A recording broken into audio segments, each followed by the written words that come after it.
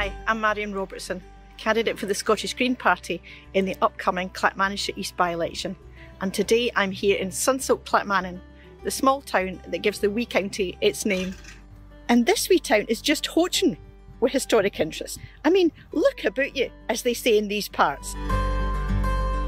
But people will tell you with justified frustration that this wee town is getting increasingly overlooked and is isolated from the outside world.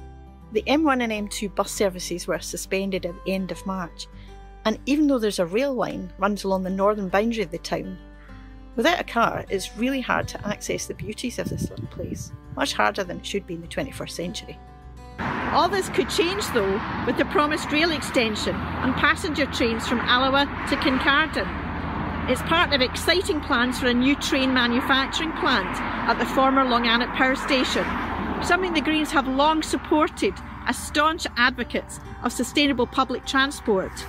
A railway station at Clackmannan could be the very lifeline this wee picturesque town has been crying out for.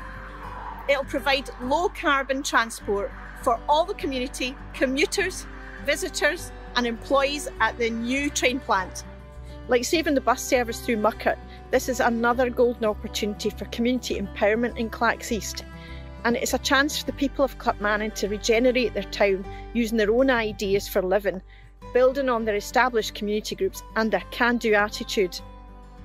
I want the chance to help champion far greater hands-on democracy in Clackmannanshire East, whilst enabling communities to transition to zero carbon.